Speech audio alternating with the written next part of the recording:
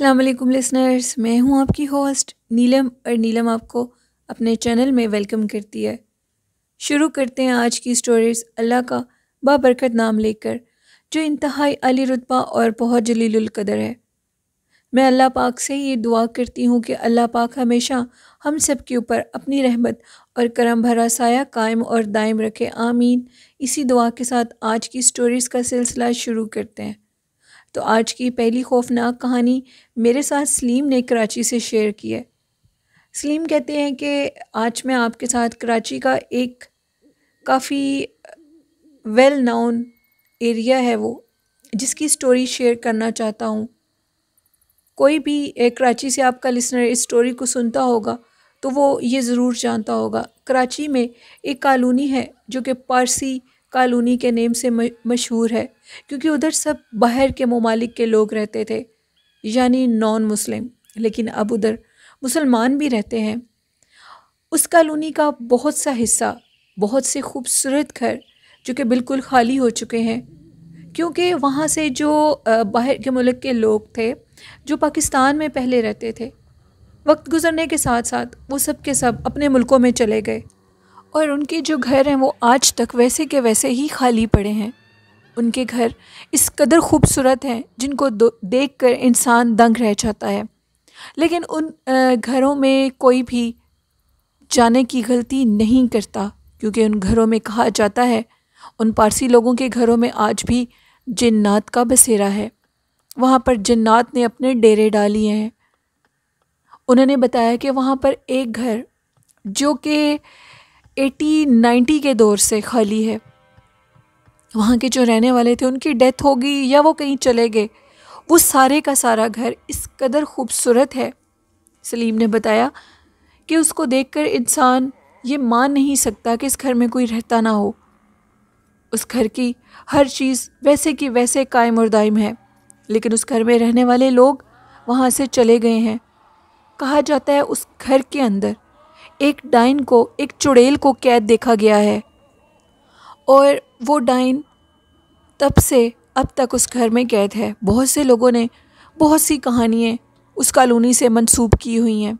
लेकिन एक ऐसी कहानी जो मैं आज आपके साथ शेयर कर रहा हूँ, उस कॉलोनी के बहुत से घर, जो कि अब बिकने लग गए हैं, जो कि कई अरसा दराज से खाली हैं, जब भी खाली होने लगते हैं तो प्रॉपर्टी डीलर उधर ज़रूर जाते हैं। और जो प्रॉपर्टी डीलर उधर जाते हैं उनको बहुत सी कहानियाँ पता लगती हैं।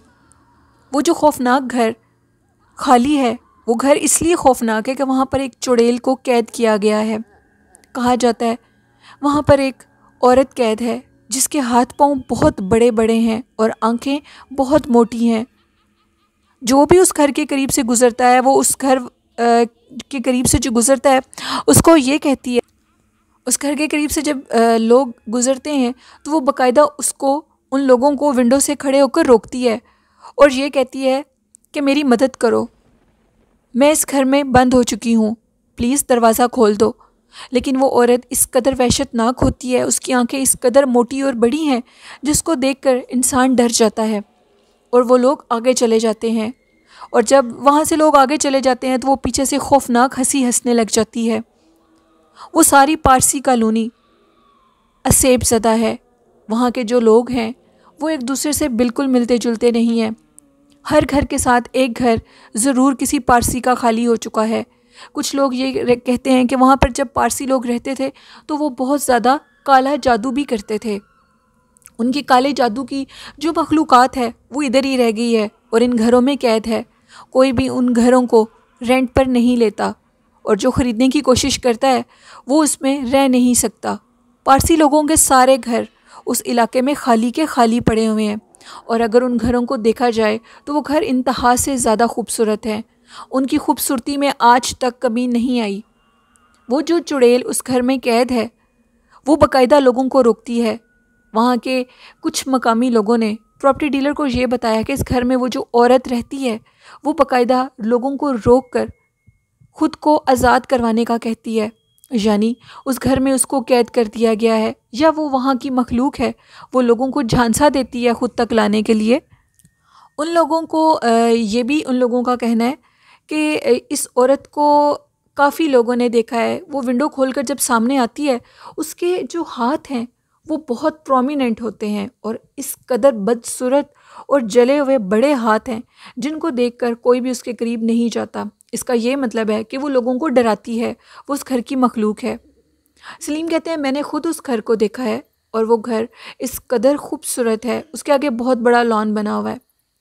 लेकिन उस घर की जो खूबसूरती है वो सारी मान पड़ चुकी है, क्योंकि वो कॉलोनी असेब सलीम कहते हैं कि वो जो खाली घर हैं, उन घरों में कुछ ना कुछ ज़रूर होता रहता है। कुछ लोग ये कहते हैं कि वहाँ पर जन्नात ने अपने डेरे लगा रखे हैं कुछ लोग ये कहते हैं कि वहाँ से बाकायदा रात के टाइम अजीबो गरीब आवाज़ें आती हैं। कुछ लोगों का ये कहना है कि रात के टाइम अक्सर उन सुनसान घरों के अंदर से बच्चे बाहर आते हैं, जिन्होंने बाकायदा स्कूल बैग अपने पीछे डाले होते हैं और ऐसे लगता है कि जैसे वो स्कूल पढ़ने के लिए जा रहे हैं और देखते देखते वो बच्चे गायब हो जाते हैं। उन पारसियों के सारे घरों के आगे बहुत बड़े बाढ़ बने हुए हैं। और उन बाड़ों में जाकर वो बच्चे गायब हो जाते हैं। बाकायदा रात के टाइम ये महसूस होता है कि उधर हलचल मची हुई है। साथ वाले घर जो उधर रहते हैं, क्योंकि हर घर के साथ एक पारसी का घर ज़रूर खाली है। वो ये कहते हैं कि रात के टाइम अजीबो गरीब आवाज़ें आती हैं। कभी खाना बनने की खुशबू आती है और कभी यूँ लगता है कि कोई पार्टी कर रहा हो, जैसे गाने लगे हों, इंग्लिश गाने लगे हों और पार्टी हो रही हो। जब देखा जाता है तो वहाँ पर कुछ भी नहीं होता। ऐसे बहुत से वाक़ात सलीम कहते हैं कि उस पारसी कॉलोनी में होते हैं, जो कि मैं आपके साथ शेयर करूँगा। बहुत शुक्रिया सलीम अपनी स्टोरी शेयर करने के लिए। तो लिसनर्स, ये थी सलीम की स्टोरी। बढ़ते हैं आज की दूसरी खौफनाक कहानी की तरफ़। आज की दूसरी खौफनाक कहानी मेरे साथ चकवाल से रहीम ने शेयर की है। रहीम कहते हैं कि आज मैं आपके साथ एक स्टोरी शेयर कर रहा हूँ और साथ एक क्लिप भी वीडियो क्लिप शेयर करूँगा, जो उस घर का क्लिप है। वहाँ पर वो कहते हैं कि मैं एक फैक्ट्री में काम करता हूँ और हमारी फैक्ट्री के सामने एक घर बना हुआ है। वो घर, उस घर की जो दीवार है बैक साइड की, उस दीवार पर तीन से चार बहुत बड़े सफ़ेदे के दरख्त लगे हुए हैं, जो कि बहुत हाइट में ऊँचे हैं। उस घर से भी ज़्यादा, जो कि आप वीडियो क्लिप में देख सकते हैं। आपके सभी लिसनर्स उस क्लिप को देखेंगे। वो क्लिप मैंने रात के टाइम इसलिए नहीं बनाया वो वीडियो क्लिप क्योंकि रात के टाइम उधर बिल्कुल अंधेरा होता है। और ये आप वीडियो क्लिप में बसानी देख सकेंगे कि उधर एक घर बना हुआ है। दो पोर्शंस का वो घर है। उधर कुछ लोगों का ये मानना है, और मैंने भी उस चीज़ को आँखों से देखा है। एक औरत को देखा जाता है जो कि उधर काम कर रही होती है। बाकायदा वो घर के कामों में मसरूफ़ होती है। जबकि मोहल्लेदारों का ये कहना है कि वो घर कई ज़मानों से बंद है। उस घर में कोई भी नहीं रहता। उसके नीचे ढेर सारी शॉप्स बनी हुई हैं और शॉप्स के ऊपर वो घर था और अब उस घर में कोई भी नहीं रहता। वो औरत घर में काम करते हुए नज़र आती है। कहा जाता है कि वो जो सफ़ेदे के दरख्त हैं, उनके ऊपर इस चुड़ैल का बसेरा है और वो जो चुड़ैल है, वो अक्सर लोगों को उस घर में काम करते हुए नज़र आती है। बहुत से लोगों का ये मानना है कि वो चुड़ैल अपने बच्चों के साथ उस घर में रहती है, क्योंकि उस दरख्त के ऊपर बहुत ज़्यादा सरगोशियों की आवाज़ें आती हैं। लेकिन मैंने अपनी आँखों से, मैं एक दिन फैक्ट्री में काम कर रहा था और मैं आपको ये बता दूँ कि मैं उसी फैक्ट्री के अंदर रहता हूँ, उसी फैक्ट्री की सबसे ऊपर वाले पोर्शन में। काफ़ी वर्कर्स के लिए रूम बने हुए हैं और हम लोग रात को बैठ कर अक्सर बातें कर रहे होते हैं। उस दिन जो वहाँ के कुछ वर्कर्स थे, वो छुट्टी पर थे, मैं और मेरे तीन फ्रेंड्स हम लोग अकेले थे फैक्ट्री में। तो हम लोगों को काफ़ी भूख लगी हुई थी। उस दिन मेरी तबीयत कुछ ख़राब थी। मैंने अपने दोस्तों से कहा कि आज खाना लेने तुम लोग चले जाओ, मैं आज नहीं जा सकता। और इधर ही खाना ले हम लोग इकट्ठे बैठकर खाना खाएँगे। रहीम कहते हैं कि वो लोग खाना लेने के लिए चले गए। हम लोग वैसे जब मेरी तबीयत ठीक होती है तो हम लोग इकट्ठे बैठकर खाना बाहर खाते हैं। लेकिन मेरी तबीयत कुछ ख़राब होने की वजह से मैं घर से फैक्ट्री से बाहर नहीं गया। वो तीनों खाना लेने के लिए चले गए। और मैं छत पर लेटा हुआ था। और मेरे सामने बिल्कुल वो घर था, जिसके मतलब अक्सर लोगों से मैंने ये खौफनाक वाक़ात सुने हुए थे। रहीम कहते हैं कि मैंने वैसे ही उसकी तरफ़ ध्यान दिया और मोबाइल को छोड़कर देखने लगा, क्या क्या वाकई उधर कुछ ऐसा है? तो मैं अचानक क्या देखता हूँ कि उस एक रूम जो कि वीडियो क्लिप में नज़र आ रहा होगा, उस रूम की लाइट ऑन हुई है और मेरे देखते देखते वहाँ एक काले लिबास में औरत है जो कि काफ़ी दुबली पतली सी नज़र आ रही थी। वो घर मेरी फैक्ट्री से ज़्यादा दूर नहीं है। काम करते हुए वो औरत वाजिया नज़र आ रही थी कि वो एक लंबे कद की पतली खातून है जो कि सारे घर में काम कर रही थी और काम करते करते वो मेरे सामने उस रूम के अंदर चली गई और थोड़ी देर बाद उस रूम के ऊपर एक पोर्शन बना हुआ है। उस पोर्शन की लाइट जलाकर दीवार के दीवार के ऊपर खड़ी हुई और मुझे देखने लगी। मैं पहले से ही इस घर के मुतालिक बहुत सी कहानियाँ सुन चुका था। जैसे ही वो मेरी तरफ़ मतवजो हुई, मैं वहाँ से नीचे चला गया और शोर मचाता हुआ फैक्ट्री से बाहर निकल गया। जब मैं नीचे गया तो नीचे एक बुज़ुर्ग शख्स खड़े हुए थे। वो शॉप से कुछ ख़रीद रहे थे। तो मैंने उनसे पूछा कि, अंकल, मैंने ऊपर उस घर में किसी औरत को देखा है। वो औरत कौन है? तो उन्होंने कहा कि, बेटा, इस घर में जन्नात का बसेरा है। कहा जाता है सफ़ेदे के इस दरख्त के ऊपर बहुत सी डाइनों का बसेरा है, जो कि इस घर के अंदर रहती हैं। अब दोबारा भूल कर उस घर की तरफ़ ध्यान मत देना। अक्सर लोग ये कहते हैं कि इस घर के ऊपर जब भी कोई परिंदा आकर बैठता है तो वो मर जाता है। उसकी गर्दन टूटी होती है और उसको नीचे उस जहाँ पर वो दरख्त लगे हुए हैं, उन प्लॉट्स में काफ़ी परिंदों को मरे हुए देखा है। ना तो उनका खून पिया जाता है, लेकिन उनकी गर्दन तोड़ दी जाती है। कहा जाता है कि उस घर के ऊपर उस डाइन का बसेरा है, जो कि किसी को उस घर में आने नहीं देती, ना ही आबाद होने देती है। दुकानदारों का, वहाँ के दुकानदार अक्सर ये कहते हैं कि उधर से ऊपर छत से चूड़ियों की आवाज़ आती है। जब वो चूड़ियों की आवाज़ आती है तो बहुत ज़्यादा चंबेली की फूलों की खुशबू आने लग जाती है। दुकानदार ये कहते हैं कि वाजिया उस घर की, जो कि ऊपर छत है, उधर चलने की आवाज़ें आती हैं। जो लोग नीचे रहते हैं, वो बिल्कुल बासानी उन आवाज़ों को सुन सकते हैं। बहुत भारी भारी कदमों से ऊपर एक से ज़ायद लोगों के भागने की, दौड़ने की और चलने की आवाज़ें आती हैं। और वो जो सफ़ेदे के दरख्त हैं, वो कई सालों से मशहूर हैं कि उधर जन्नात का बसेरा है। वीडियो क्लिप में आपके सभी सुनने वाले उस घर को और उन सफ़ेदे के दरख्तों को देखेंगे और ये ख़ुद बताएँगे, ये फ़ैसला करेंगे कि क्या वाकई उस घर में जन्नात हैं, उस घर में किसी डाइन, किसी चुड़ैल का बसेरा है? रहीम कहते हैं, जो कि मैंने अपनी आँखों से देखा है। कुछ लोग जन्नात के ना होने का इकरार करते हैं।